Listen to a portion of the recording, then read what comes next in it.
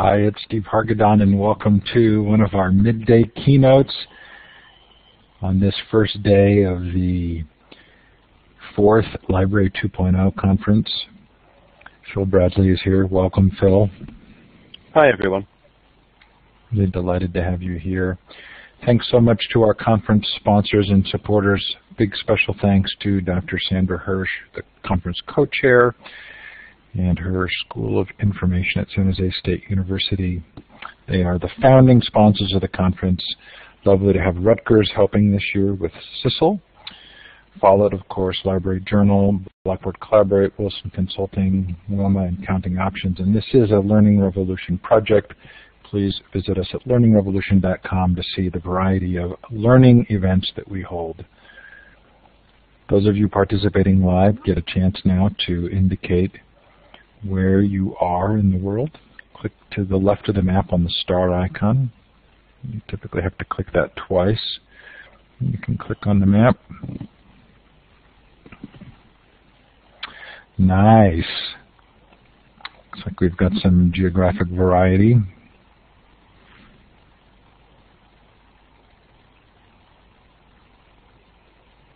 Feel free to put in the chat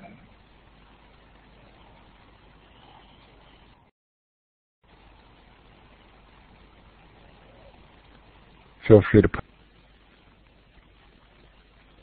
in the chat the time, temperature, where you are.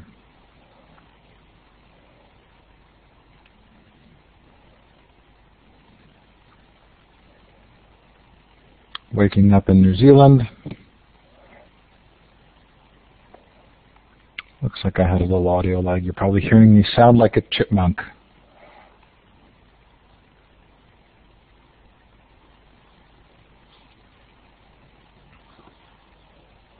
Oh, Jenny. Nice. Okay, I'm going to turn it over to you. Thanks, Phil. Okay, thanks, Dave. Um, well, good morning, everyone, or good afternoon, or good lunchtime, or as it is in my case, good evening. Um, I'm with you from just outside London this evening, and it's about 8 o'clock in the evening over here. Uh, so my title, Alternative Search Engines, Why Google Simply Isn't Enough. Um, nice introduction from Walt. Thanks for that question about uh, we we know um, that Google isn't enough, um, but everybody else seems to be quite happy with it. So that's one of the questions that I really want to look at uh, this evening, is um, why we simply cannot just use Google for all of the issues and the requirements that we've got. I want to look at a few other search engines as well to give you some, obviously some alternatives to what's available. And I want to finish by looking at where I think search is going to be moving to into the future. Now, if you're wondering who I am, perfectly fine. I don't have a problem with that. Um, I am um, obviously from the UK. I'm a chartered, that's to say, a professional librarian. I'm the immediate past president of the Chartered Institute of Library and Information Professionals, aka CILIP, which is basically very similar to the American Library Association. I wanted to be a librarian since I was about 13. I became an internet consultant in 1995. And basically what I do is stuff on the internet. I talk about the internet at conferences and exhibitions. I run a lot of training courses on different aspects of the internet, social media, um, advanced internet search, and so on. And I also write a number of books on the internet. Uh, my current um, title is Expert Internet Searching, uh, which came out last year, and I have a new book out on social media for creative libraries um, towards the end of um, this year. But obviously what I really want to talk about this evening is the search side. When I was a kid and I was at school, I went to see my careers teacher, as most of us do, and she said to me, what, what do you want to do? And I said, I want to become a librarian. And bless her little heart, she said, oh, is that because you like books, dear? In that rather patronizing way that I think we're all kind of familiar with. And I said, no, it's not because I like books, it's because I want the power and there was this sort of blank look of complete incomprehension on her face. So I explained that if you know how to find something, that means that you are a powerful person. And I'm very firmly of the opinion that within our profession, one of the most powerful things that we can do, and indeed it's a powerful profession, is because we can find stuff. So we want to be able to find stuff from a wide variety of different places. But let's start with um, Google and answer Walt's question of, well, you know, how can we get people really to start thinking about, you know, why isn't it always just Google? Firstly, uh, when I'm running training sessions for people, I will very often say to them, what's Google for? And bless their little hearts, they will very often come back and they'll say, oh, Google, there, it's, it's a search engine. Google's there to, to help us find things. And I then have to break it to them that that's not really what Google's for. Google is not a search engine. And we need to be right clear at the outset, that is not what Google is. Google is not a search engine, Google is an advertising company. And they have chosen to make their money via search and bringing advertising to us as a result. Now the problem that we've got with that is there's a very basic Google paradox that we've got here, is that if you go to Google and you do your search, if Google is very good at search, you get the answer that you want, you click on the link, you go off, and you've got the information that you need available to you. Thank you very much, Google. That's great. End of story till you come back next time. Now, if Google's very good at search, Google doesn't make money. If Google is not very good at search, you've run your search, you haven't got exactly what you want from it, say you then have a look at some of the adverts that are there, you see an advert that really does the job for you, so you click on the advert, that's just made Google money because the advertiser will then pay Google. So the Google paradox is if it's good at search, which is what it tries to say that it's about, it doesn't make money. If it's not so good at search, it does make money. This is one of the problems that Google has increasingly got now and will have in the future. And it's a point that I'll come back to talk about a little bit later on when I talk about the fight that Google is in uh, with Facebook. And it's basically a fight for, to put it fairly, uh, to put it fairly crudely, your eyeballs. Um, both Google and Facebook need you to click on those lovely little adverts to make them lots of money. But as I say, I'll come on to that in a little bit. Next point to do with Google, one of the things that I've seen steadily happening over the last few years, and it, it's worryingly speeding up, is this reduction in search functionality. If you go back uh, a few years, we can all remember that on the Google homepage, you had a link through to the advanced search function. If you look at that page now, it no longer exists. You have to either run a search and then find the, search, the advanced search option at the bottom, or you've got to find the um, little cogwheel and then find advanced search that way. This is because Google doesn't want you to think. Google doesn't want you to search. Google wants to give you the answer that Google thinks you require. And Google will make that up based on what you've looked at previously, what your profile is, what you've what adverts it is that you have clicked on. And I can kind of get that. Um, it's only people like us that are interested in search. The average person out there isn't interested in searching, they're interested in finding. And Google knows that if it can find stuff for people and it can present that for people, they're going to be happier, they're going to be more likely to come back to Google and to use other Google functionality and also to keep seeing those lovely little adverts, clicking on them and making money for Google. So it's not particularly, oddly enough, um, interest in exactly, Len. Um, Google is created for the lowest denominator. It doesn't want people to think. It doesn't want people to search. Google wants people to um, have stuff. Now, there are other problems that are coming up uh, with Google search as well.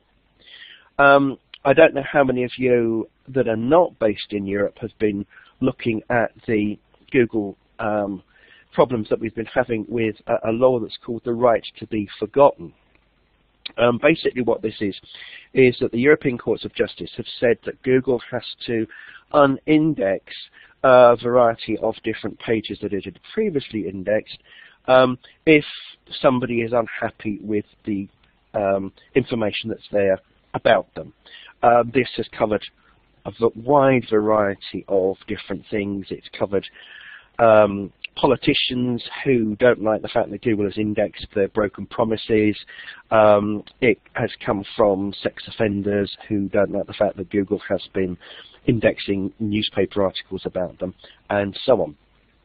So this is a problem um, that Google has had to address, and I don't have a lot of sympathy for Google, but I do have a certain amount of sympathy on this because it's completely impossible. Um, in the first place, this is not um, getting rid of those articles. That newspaper article is still there about that person who's committed that law. It simply means that if you run a search, Google is not able to return that specific search to you.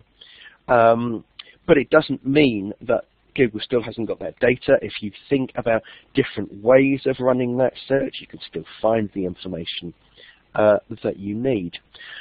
What Google is also doing is obviously since it's really unhappy with this, um, if uh, a newspaper article has had to be de-indexed by Google, they're tootling along to the newspaper and saying, oh, we've had to de-index that particular article of yours, which is not um, proving particularly popular with the mainstream media, as we can understand. You'll find if you do a search on the google.co.uk website um, for what Google would regard as a name, very often you'll find at the bottom it says that some results may have been deleted.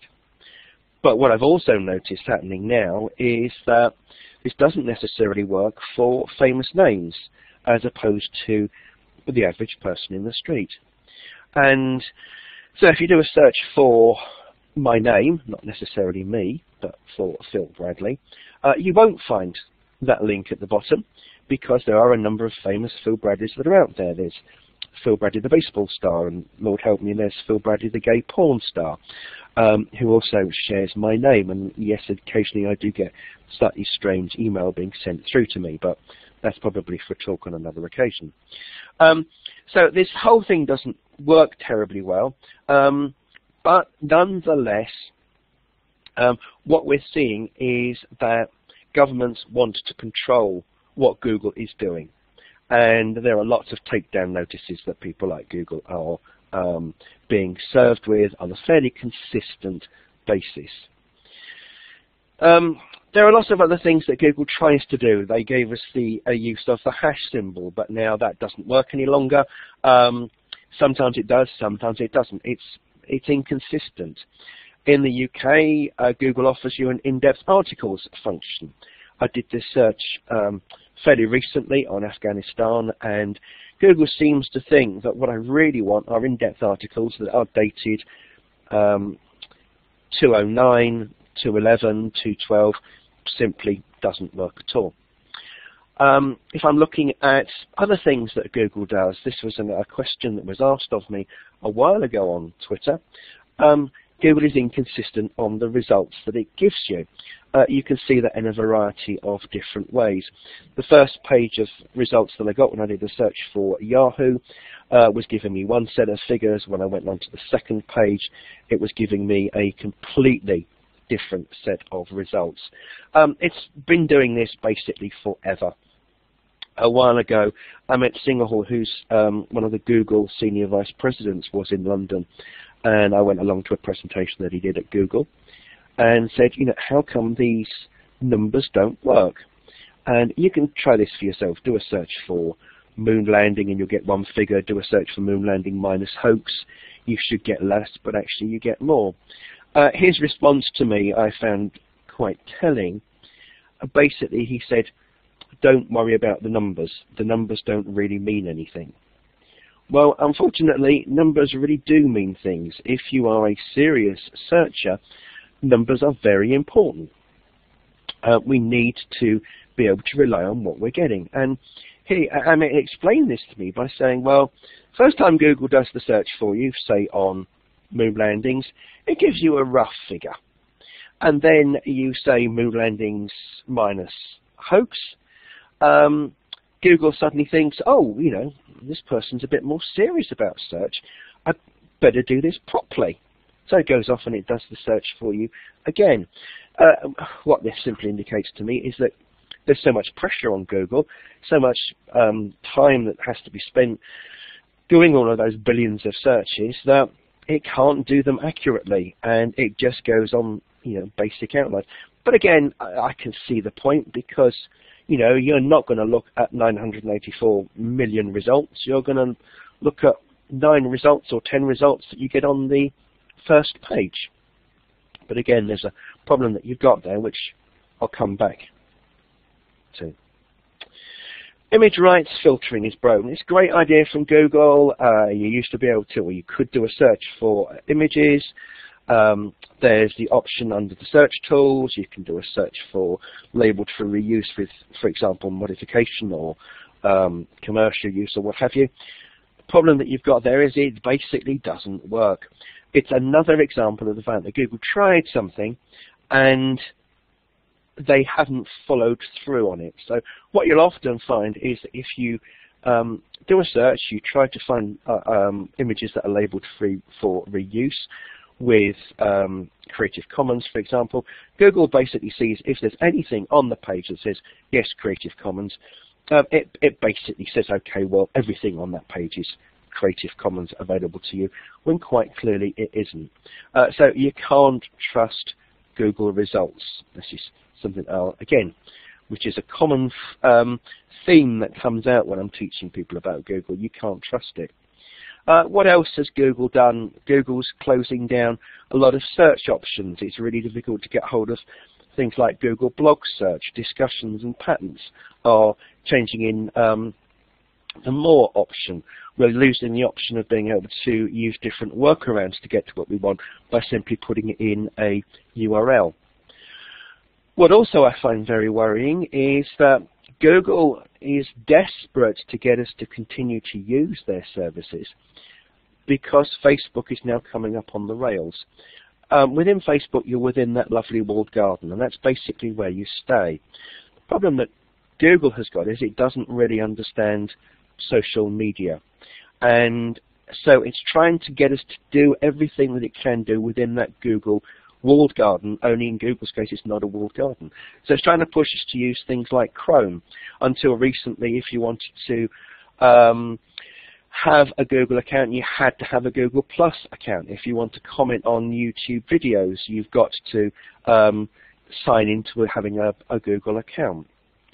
Google is changing and reducing and limiting search. One of the things that I find most infuriating with Google is we've lost the tilde symbol or the synonym search function. And again, Google tries to say that, oh, don't worry about that because if you do a search for the word beginner, Google will come back with other words that mean the same kind of thing. And no, unfortunately, it doesn't do that any longer. Um, Google is paring back search um, whenever it can do because that's not really what it's interested in. It wants us to just use and to consume whatever Google decides to give us.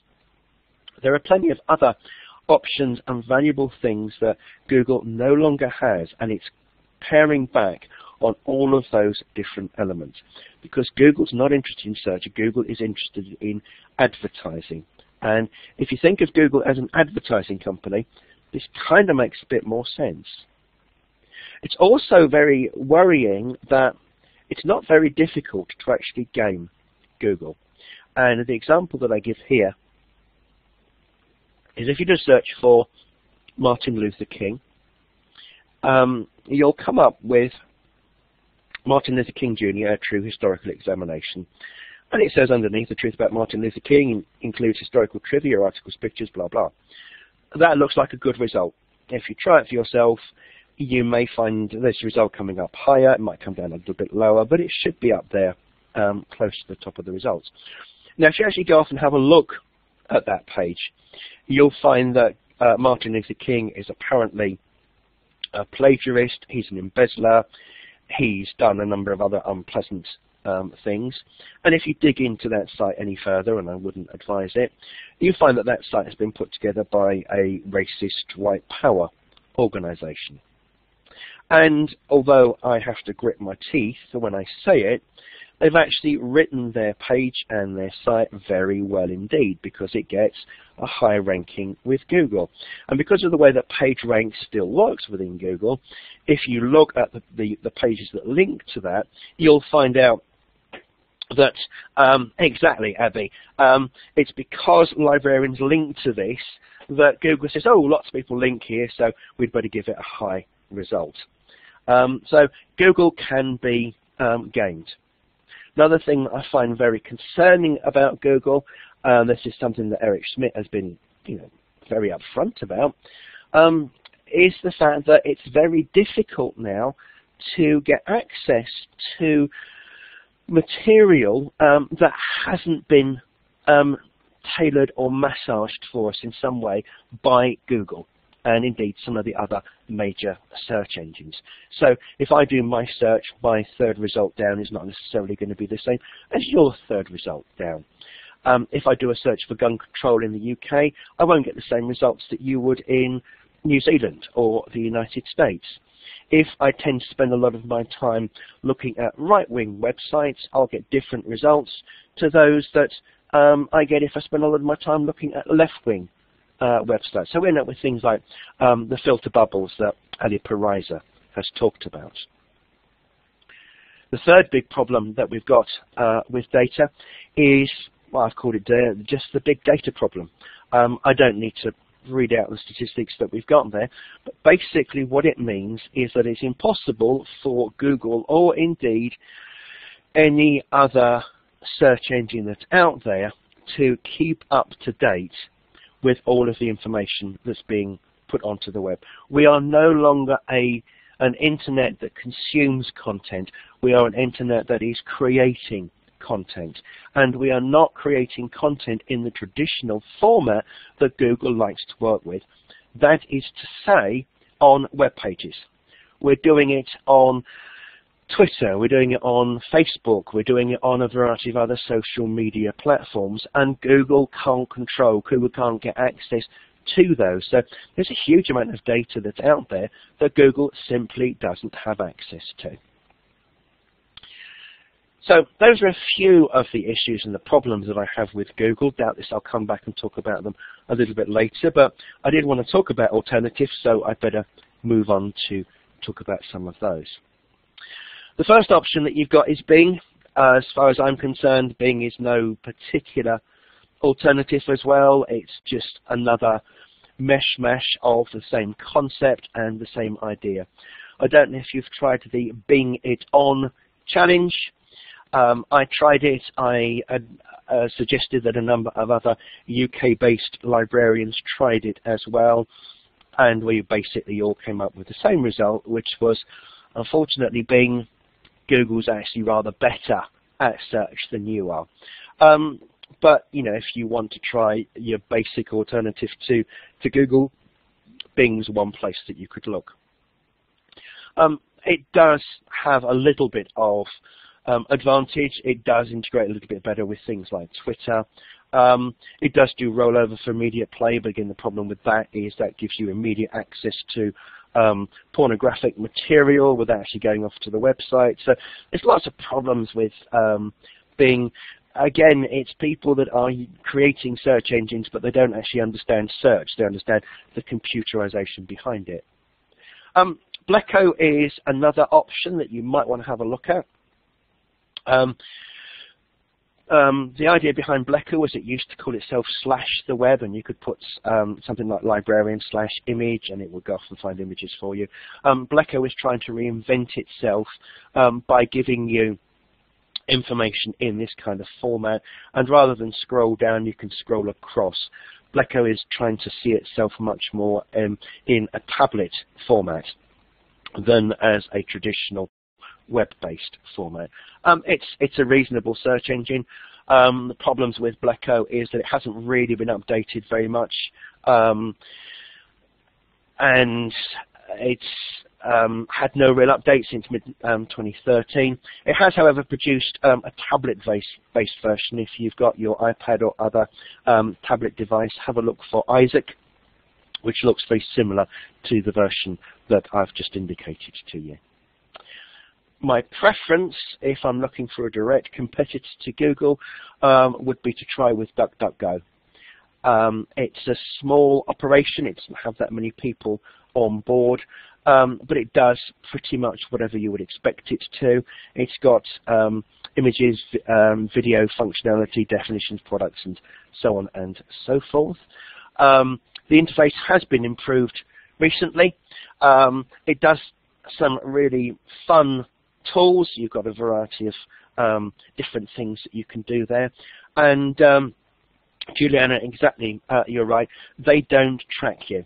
This is one of the things that I'm particularly finding these days with search engines, is that they're much less interested in telling you how many pages they index and how big their um, indexes are, and doing this whole macho, um, my um, database is bigger than your database nonsense. What they're now pushing at is much more uh, material that's appropriate um, where where they where they don't actually um, check what it is that you're doing. Um, thanks for that question, Jenny. I'll come back to it later on if I may do. Um, for the major search engines, for your absolute equivalents to Google, um, there aren't that many differences. Privacy, as I've said, is the, the big issue. Um, there is a lack of advanced search options because we're the very small minority that are interested in search. Everybody else wants to find. So the holy grail as far as the search engine is concerned is um, giving us the information rather than helping us find it and indicate great detail. Because people are generally satisfied with what it is that they find. Then we come to Facebook, and this is the other really big change that we're going to be seeing happening in the world of internet search in the future. Now, what Facebook is doing is taking a completely different viewpoint. Google is um, basing search concepts on things like websites. What Facebook is looking at is the importance of the individual and the individual expert. So I can go to Facebook and I'm in the Facebook walled garden and I can do a search for people I might know, films I might like, based on what it is that I have originally um, looked for. Um, my friends who like Cheshire Public Library, a really nice um, public library website from uh, the United States, lovely um, Facebook page, really, really interesting. Um, and so I can see that, and if you look over on the right-hand side, you can see the fact that there are lots of ways that I have of being able to filter that information that I'm finding. This is a much um, fuller viewpoint of how I can slice and dice the data that Facebook is giving me. So I can limit myself to my friends within a particular age range or where my friends happen to live. This is really important for me because it then means that I can say, um, find my friends who like restaurants in Manchester and I'll get a list of who those people are. I know my friends, I know what they're interested in. And I'm going to be able to trust them much more than going to Google and saying, give me a list of restaurants in Manchester. Because Google's great, you know, it's going to give me that list, but which of those are really good, I've got no idea. But I can nonetheless, um, with my friends on Facebook, see what it is that individuals are saying is really useful and very good for me. What I can also do with things like Facebook is I can share my network with um, news creation tools like Zite, for example. And so what those tools are doing for me is it is it bringing back content for me that I'm going to be interested in. Or I can go to the tweetedtimes.com and say this is who I follow on Twitter. And the tweetedtimes.com will find me really interesting news stories based on what the people that I follow are finding for me. So we're moving away from the idea of the concept of the website and the web page being the most important thing to that of your um, friends being the people that can give you that kind of help, advice and guidance. It's one of the reasons why I really push the idea of using Facebook um, with information professionals.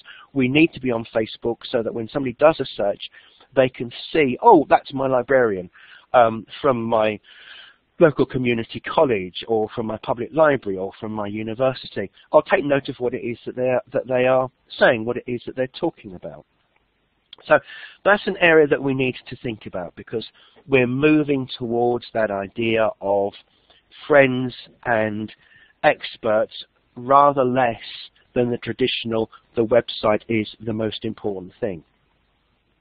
Um, it's certainly not reliable if I just scroll back and have a look at the, the, the point that's been made there. Um, no, you're absolutely right. People don't always like stuff, um, and it isn't always necessarily reliable either. Um, but I think what we can say there is the more that people do it, the more that people tend to like stuff on pages, you are identifying yourself in a particular subject area.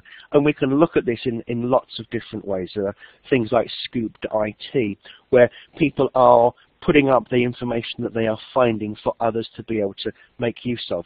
Uh, we need to be a beacon when it comes to search in as many different environments as we can be. But if you're looking for privacy solutions when it comes to search, you've got uh, two or three that I've already um, mentioned, um, but there are others, Startpage, Ixquick, which is basically the same search engine, uh, another fairly new one, a thing called Motherpipe, that will find stuff for you without tracking you. There's also another really nice thing called Disconnect Private Search, which you can download or you can use it online. Um, there's Tor as a browser, which is an acronym for the Onion Router. Um, it's free software to enable online anonymity. Um, it does mean that you can search privately. Now, I'm not really that bothered about searching privately, but when it comes to searching, what I want to be able to do is to search and not have what I've searched for previously being tracked, so that I'm always getting results based on the actual search that I've done, not what the search engine assumes it is that I want to find. Um, uh, another quick one there, um, Lightbeam, um, it's an add-on for um, browsers, particularly Firefox, uh, and it displays third-party tracking cookies that are based on a user's, uh, on a user's computer. Um, if you're interested, I'd suggest get hold of a copy um, of it. Um, you can click on a, on um, Lightbeam, whatever website you're on, and then you'll get to see just how much you are being tracked. It's a bit scary. Again, going back to the very first question that was asked of me, Walt, um, at the beginning of the hour, um, why can't you rely on Google? Um, because Google doesn't find stuff. Um, you could just delete the history cache, Jenny, but it's not the same thing. It is somewhat different. Google does, for example, to create a profile of you and the kind of things that you're interested in. I cannot overemphasize enough how much we are all being tracked on the net these days. So um, this is a great one when people say, "Oh, you know, you can find it. It's it's all on the internet." Um, it absolutely isn't. And certainly, if you want to use a graph, you know, something like this is going to be a good way of showing that no, it's not all available to you on Google.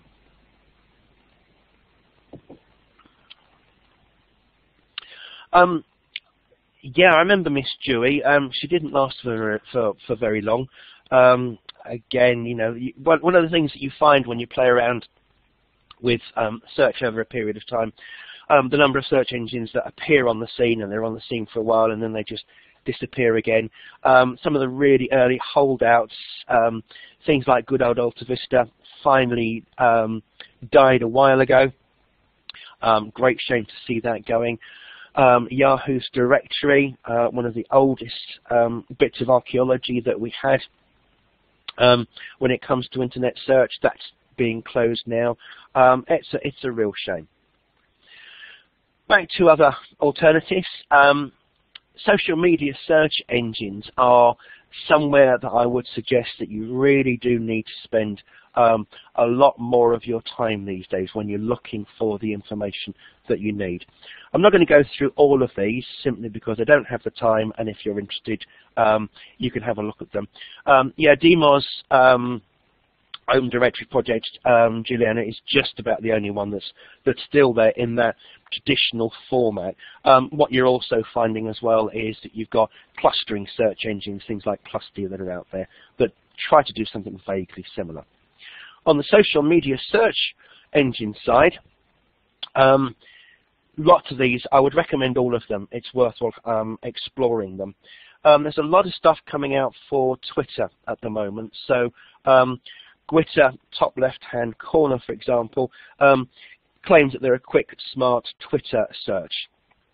Um, it's an interesting search engine. Um, it really is designed to follow the tweets of individuals rather than Twitter as a whole, but it, it, does pull up a mine of information once you've found the person that you're interested in. Again, there's this emphasis on who is the individual, how much can I trust the individual, um, and this will tell you, for example, how many times they've tweeted, what they've done, what their um, Twitter history is, and so on. It will also tell you what their top shared sites are, and so on. Um, so if you're interested in finding out about people, um, is a good place to go. Um, Backtweet is a um, Twitter time machine that enables you to search through a tweet history for tweets that link back to your site, for example. um, BuzzSumo um, is another fun one. That's a little tiny one there that's um, in the, the middle. Um, it's a new social media search engine with an interesting twist. It focuses on the top content that's available in your area of interest. Um, it makes it easy for you to find the most shared content across multiple social networks, Facebook shares, LinkedIn shares, Twitter, Pinterest, Google+, and so on. And you can filter by um, type article, infographic, um, guest posts, and by time. So it's a really nice, powerful um, little resource that you can use there. Uh, another one that you might be unfamiliar with, a thing called Junova. It's a search engine that allows you to combine traditional website searches with tweets.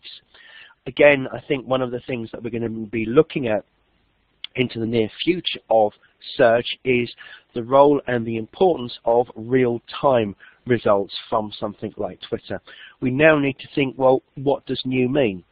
A few years ago, new meant was um, what new meant was what happened yesterday, um, or what happened on the evening uh, news, or what happened recently on your blog.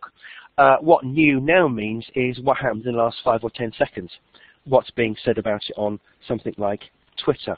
So places to go for material like that. One of the things I find interesting here is that, again, a lot of these social media um, search engines do tend to focus firstly on the platform, obviously, but then secondly on the importance of the individual. And this is, again, something that's really coming out a lot these days. Um, if you're interested in image search engines, sure, you can use Google, and Google does have, to be fair, uh, a very good image search functionality to it, but there are plenty of other places that um, you can go if you're looking for image uh, uh, um, images. Um, Pinterest, Flickr, the obvious two examples. Um, TinEye, which will allow you to upload an image, might be worthwhile having a look at, and it will then go off and search based on what it can see that you've um, that you've got. Vintage ad browser is great if you want to see over 100,000 vintage um, adverts going back to the early 1800s. Um, some of them are, they will just take your um, breath away. Um, if you're interested in um, things for teenagers, for example, you might want to find science fiction covers. Um, Cover Browser, really nice example of that. If you're looking for material where you have to be sure of the provenance and where you can say, yes, this is in the public domain, uh, the Wikimedia Commons website search engine is a really good place to, to go. Uh, looking at new search engines, um, the one place that I say if you want news, go to Silo Breaker. It's by far and away the best search engine uh, that I've found. It has a global um, effect on it. It's, it's looking at stuff wherever it comes. You're getting material coming up um, on a very regular basis. Um, you can look at the story, you can click on the link, you can see the details um, then will come out as a dialog box for you. The other thing I like about SiloBreaker I've edited this around a little bit, um, but on the right hand side you do get to see a really nice little menu of things that are in focus at the moment or what's happening in a network, what's available in audio or visual, um, what's available as far as press releases are concerned or um, blogs. So new search engines, um, if you've only got one opportunity, go to Silo Breaker. Newsmap is another really fun way of working. The way that this one works is you can choose a country, um, you can choose what your interests are. The um, colors indicate different subject areas. Um, so you'll get um, things like red will be what's happening in the world today, green will be technology issues and so on. Um, the bigger the box, the more uh, news there is about it. The different shades indicate how old it is. Um, so Newsmap is a great visual approach to take. 10 by 10 basically does what it says on the tin. You get 10 by 10, um, lots of images. You'll see over on the right hand side um, what subjects are being um, discussed at the moment. You can click on any of those. You'll get to see what um, the subject is. Click, bang, you go through to get some information on that. Uh, News Museum, uh, again, is a really nice um, tool. Basically what it does is it gives you um, 800 or so news front pages. Um, doesn't give you much other than that, but again, it can be a really interesting place to go and have a look at. One thing that I like is search by similar. If you can find a search engine that, a bigger button, if you can find a URL, a website that does what you want, what all of these will do for you is find similar sites. It's a bit like related to, which is one of the Google functions which they're trying to hide off um, in advanced search functionality. But find um, a website, um, click it into similar search, um, site search, similar pages and so on, and you'll get some examples coming back of other similar sites that you've got. Uh, alternative 2 is another nice one. Um, you can put in something like iPad or iPhone and it will come up with alternatives for you. Uh, the one at the bottom, Taste Kid, this is a really interesting one, uh, which allows you, as it says there, type in your favorite bands, movies, and so on type in what you're interested in, and then you can say, okay, if you are interested in Lady Gaga, you might be interested in this movie or this book or this author and so on. So it's a really nice, fun one to go and have a look at. Um, the slides are not on SlideShare yet, but I will put them on slideshare.net slash Phil Bradley to answer Graham's question, um, and they will be available um, on the library um, 2014 and I think if Steve can, he can put up details on um, how you can get access to the whole collection.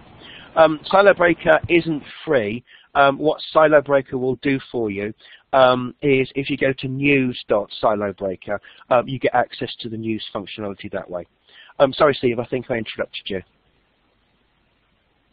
Mm, no, I don't think I did. Okay, I shall carry on. Um, so search by similar, uh, really nice tool. Um, people search, I just have not ever found a good people search engine at all. Um, I find them that are great for one country, but they're not good globally. I find something fantastic in the United States, but it's no good for the UK, or vice versa. Uh, quite why we've never had a really good people search engine, I don't know, but there isn't, so I shall move on. Um, we'll start wrapping up now. Um, a few specialist search engines. If you um, haven't tried um, these, I'll point a few of them um, out to you.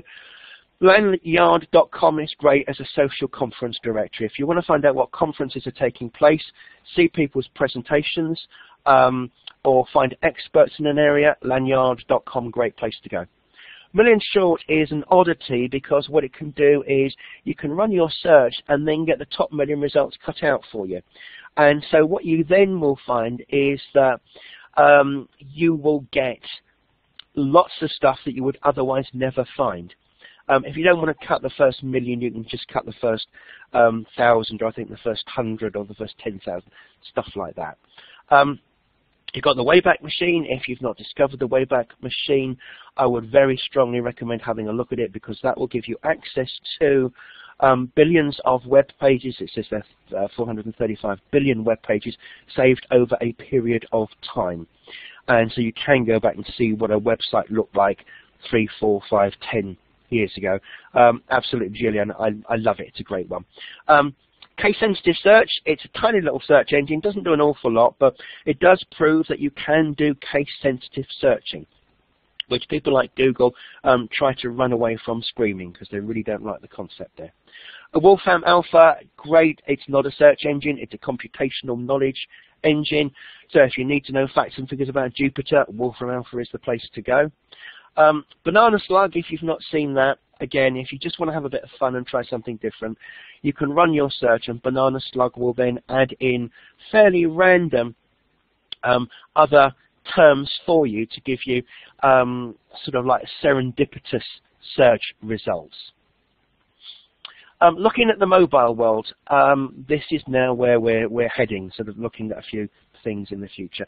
This is what we're, we're now doing, is that we don't use um, our um, traditional resources. We're using our smartphones much more these days. So we've got a fundamental change in use. Search is now coming to us. We are using our um, mobiles to get the information for us. Um, we've got things like Google Notes, so that when I start Google, up comes the little notes telling me where I am, um, telling me what the football score is that I'm interested in. And um, it's an app world. If I need to know something, I'm not going to the search engine. Why would I bother to do that? I will go and find an app and I will do that. Um, or um, what I'll also do um, is I'll go on to Siri and I just say to Siri, you know, what is it that I need to know? So we've got to put people like Apple into the search mix as well, which is a non-traditional um, area of search, but it's again something that we're going to need to consider in the future. Um, looking at new search engines, uh, again, um, I won't bother to go into a great deal of detail on all of these. You'll be able to play with them for yourself. Um, but I will just um, throw out a few of them. Um, BinPad is a, that's the one right in the middle. Um, it's a new search engine. Um, it's a category search engine based, so it will mean that you can search for it and it will on the fly pull up information and categorize it for you. So a search for Jack Russell, for example, brings back the top 50 sites for the dog, information on the breed, a search in the puppies for sale, rescue animals, and so on. Um, Leapit is a um, visual search engine, pop in a search term and it produces results in a magazine format type style um, with images. Um, so that's quite a, a, fun one to play with. Um, Slidey, if you want to search for slides, again it does that sort of stuff. Um, is for searching for those six second vines, which are quite fun to have a look at as well. But what's the real future of search? And this is really what I'd like to um, finish on for the last three or four minutes that I've got available before I hand it over to you. Um, we've got this um, fight between Google and Facebook. As I said, Google is has the traditional, we're emphasizing the importance of um, the website. Facebook is, is, is indicating the importance of the individual, as are a lot of the social media resources that are available for us. Search is going to be increasingly portable. If I go into a uh, art gallery, for example, and I want to know more about a, um, a, piece of art that I see on the wall, I can pull up Google Goggles, which is different to um, uh, Google Glass. Google Goggles is is um, an, an, uh, an, augmented reality resource that I can use. Hold it up to the um, picture that I'm interested in, and Google Goggles will come back and say, right, this is the title of this piece. This is who um, painted it. These are the things that you might want to know about it. So search is becoming where I am. It's becoming all around me. Um, we need to think about augmented reality so I can increasingly just hold my smartphone or my tablet up against something like a, a logo for a, a, company and get the information that I need that way. We're going to find that um, search is much more integrated into the Internet of Things in the future. Um, I could wax lyrical about why you are actually going to want to have your toaster linked into the net and the importance of it, but again, I'm going to leave that to another day. Search is becoming increasingly personalized. But what I'm also very worried about, and I think we all need to be concerned about that, is that it's increasingly controlled by conglomerates. Going back to the whole Google and the right to be forgotten, um, what uh, the European Court of Justice has basically said to Google is it's your job, it's your responsibility to decide what people can legally see and what they can't do. And I don't think that that's a really good way for um, us to regard search engines. Um, search, absolutely, Melissa. It's going to be very non-verbal. You're not going to need to search for stuff. Your mobile um, phone will know where you are. It will know what you're interested in. It will say, okay, you like this band, so um, it's playing tonight. Do you want me to book tickets for you? Uh, your friend is staying in the same city. Do you want to connect with your friend? Um, search will be um, appropriate for when we go into a particular room. We've got things like Chromecast at the moment, so you can have a meeting and your information professional could just be throwing information up onto the wall for you to, to have a look at. So search is increasingly not going to exist in the way that we've had it. And I think the real future of search um, is that search won't exist. Search is going to be integral into pretty much everything that we're going to be doing in the future. And we're going to get that from the smart device that we've got, whether it's the tablet, whether it's the smartphone, or increasingly whether it's the um, wearable that we're using, the Apple Watch or any of the other um, watches that are available out there. They are going to be telling us what it is that we need to be looking at. So I think we're into a, a, really interesting future with search, and I see the real battle between Google and Facebook, between privacy and having stuff um, made much more easy for you. I see a real difference between the old traditional content as uh, emphasized by websites and the new created content by the individuals that are going to be available out there. I see a real clamour for um, a fight between government and between conglomerates as to who controls the access to the information that we've got. And we are right at the heart of that. Um, we are the people that need to be able to go out to our communities and to talk about search with them because they're not interested in search. I get that. They're interested in finding, but what they need to be interested in is the control over the information that's being um, pushed through to them, um, the importance of them as the individual. We need to be going to those conversations. We need to be on Facebook. We need to be on Twitter and in all of the other social media um, places because what we're doing with our likes and our Google Plus ones and the things that we're tweeting and retweeting, that is affecting the search results that the rest of us are getting. On Twitter, I follow 2,000 librarians. And that's an incredibly useful resource for me because I can just see what it is that they want to know about.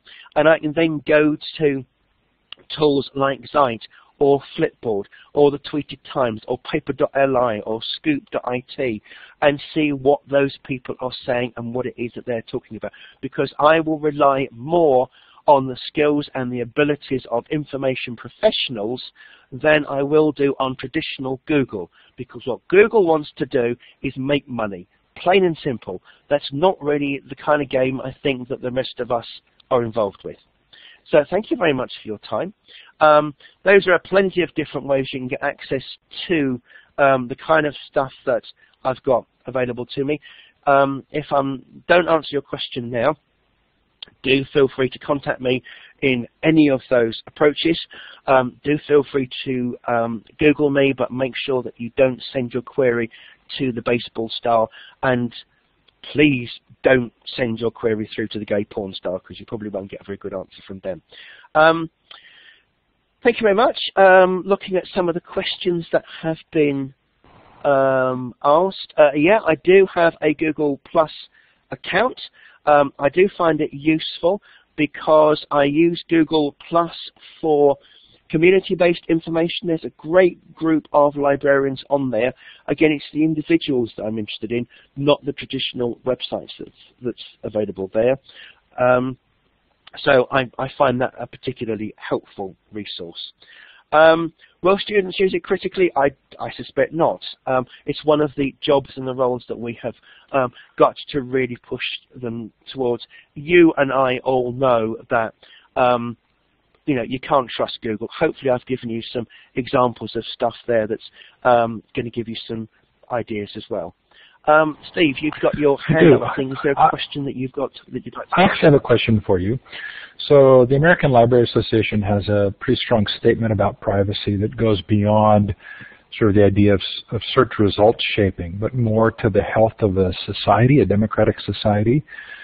And the recent Pew study on silence being the result of everything being public. Um, how do you feel about the, the necessity of privacy from the standpoint of intellectual inquiry? Yeah, it's a really good question. Um, I've given up on the whole concept of privacy, quite frankly. I, I, if I say anything, if I write anything, if I'm out on the street, I know that I can be um, quoted, I can be filmed, stuff can be put up on the net. Even if I don't want to have anything to do with the net, it's still going to be there. Um, I occasionally people who who um, will say quite smugly, "Oh, I'm not on Facebook." Actually, you probably are because um, Facebook, although they deny it, it's not difficult for Facebook to have ghost accounts for people so that they know what is going on there. Um, people will have increasingly a payoff between um, ease and convenience of use and giving up on privacy.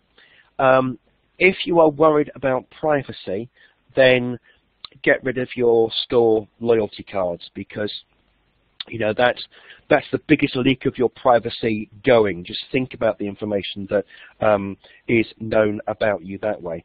Um, as far as intellectual um, inquiry goes, um, I think that we are seeing a different change now. What we had previously was a lot of um, information was limited because we had to go through um, publishers to get access to the data that we wanted. Now people can put their information up much more easily and freely. But I think what we've got to do, teaching the next generation, is um, the balance between keeping their privacy and making information available for all of us. And I don't think there's a really good answer to that yet, and I don't think we're going to get one, to be honest. Um, anything else, or is that? Well, we kind of have to wrap up because we have sessions that start in two minutes. Absolutely. I'm clapping for you. I'm hovering over the smiley face, and then I go down to the applause. I wish that were easier to find, but unfortunately it's not. That was brilliant. Uh, those of you who would like to, we'll leave the room open, and you can go up to File, Save, and save the whiteboard as a PDF, uh, in addition to finding it on Phil's uh, many sites. Thank you so much. It's a pleasure. Thanks for coming. Thanks, everybody. Uh, we do have sessions starting. We want to give you at least a couple of minutes to stretch and take a break. For terrific sessions coming up, please go to library20.com, look at the schedule, and click right in. Hope you're having a great day. I am. Bye now.